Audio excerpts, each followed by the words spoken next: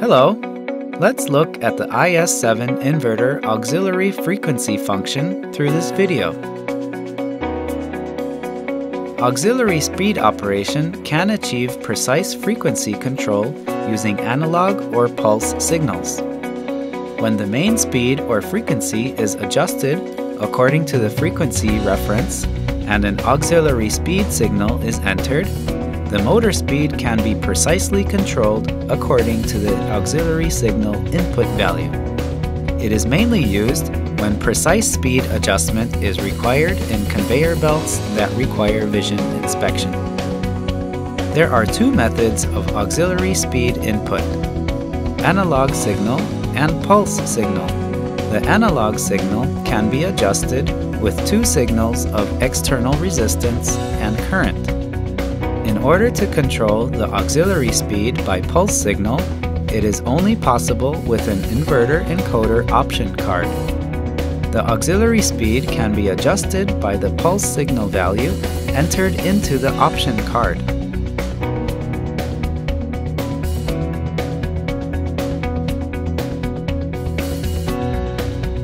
When programming the operating frequency in the inverter, the frequency value is set at the main speed. In the case of auxiliary speed, it is used when fine adjustment is required while operating at the main speed and the frequency value is controlled by using a separate input signal such as volume resistance. Normally, it is used when precise speed control is required while controlling the speed during conveyor operation or when there is a need for variable speed control. Let's take an example that is applied in real life. When moving products using a conveyor belt in the manufacturing process line, precise speed control is required.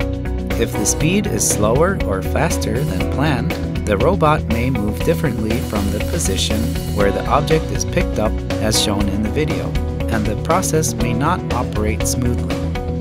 In this case, the speed of the conveyor belt can be adjusted at the main speed and the speed of the conveyor belt can be controlled at a precise speed using the auxiliary speed. Next, let's see how to set the auxiliary speed to 0 to 10 voltage. First, select the type of input signal to be used as auxiliary speed. There are three types of input signals voltage, current, and pulse. There are VR plus, VR minus, V1, I1, and 5G terminals for analog input related terminals. VR plus terminal is 0 to plus 10 voltage input terminal. VR minus is 0 to minus 10 voltage input terminal. V1 terminal is analog voltage input terminal. I1 is analog current input terminal. 5G is common terminal for analog input output. When using the external vice for voltage, use V1 and 5G terminals. And when using current device, use I1 and 5G terminals for wiring. When using the inverter's internal power, wire the volume resistance between 1 to 5 kilo ohms to VR plus V1 5G. The type of signal input to the auxiliary speed can be set in BAS1. A total of 5 settings are available, and the initial setting value is 0, none. In this video, it will be set to V1. BAS2 and BAS3 are displayed only when BAS1 is set to a value other than none. In BAS2 aux calculate type, select the setting type of auxiliary speed. The setting type and calculation formula are as follows. BAS3 aux reference gain adjusts the size of the auxiliary speed input signal set in BAS1. It is used in the calculation formula of BAS2 and is used by setting it from 0 to 100%. Each item used in the calculation formula is as follows. M is the main speed command value set in DRV1.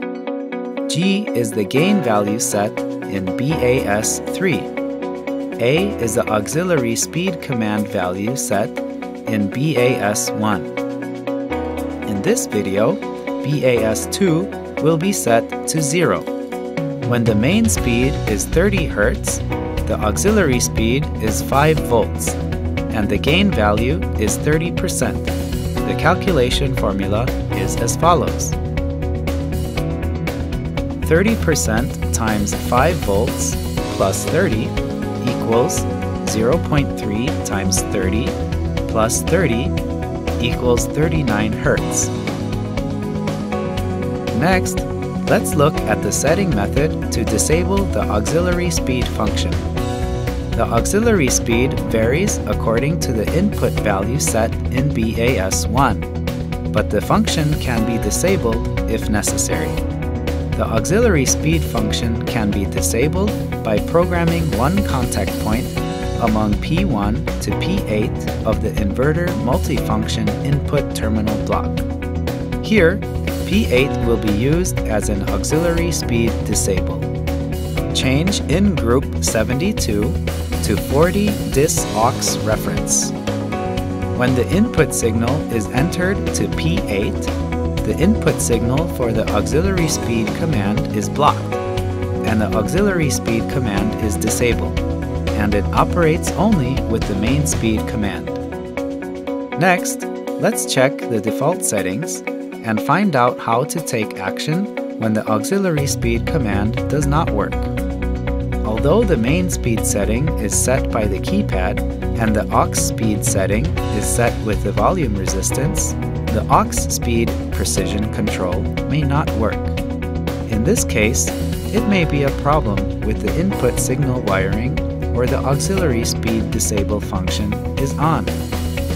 Among the multifunction input terminals, P8 terminal is set to number 40 dis aux reference. And when a signal is entered to the corresponding terminal, the auxiliary speed command does not work but only the main speed command operates. If the auxiliary speed does not work, check the input status of the multifunction input terminal of in group 90 and check whether the input terminal P8 for which the dis aux reference function is set is on. The auxiliary speed command is activated and operated only when the corresponding signal is turned off. If the input status of the multifunction input terminal block with the dis aux reference function set is displayed as off, check the input value of the auxiliary speed.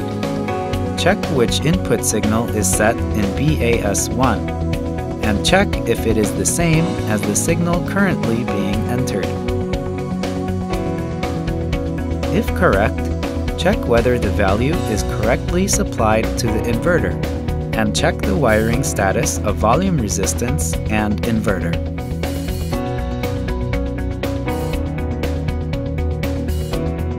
Next, we will test the auxiliary speed function. For test, set the parameters as follows. DRV7 is set to 0, and BAS1 is set to 1. And the main speed frequency reference source is controlled by the keypad and the auxiliary speed is controlled by V1. Since the auxiliary speed command is set to V1, wire the volume resistance as follows. The auxiliary speed command operation can be set in BAS2, and in this video, it will be set to 0. The auxiliary speed command gain value can be set in BAS3, and in this video, it will be set to 10%. The main speed is set to 30 Hz, with the keypad and the auxiliary speed is set to 5 volts with the volume. According to all setting values, the frequency value is calculated as follows. Thank you.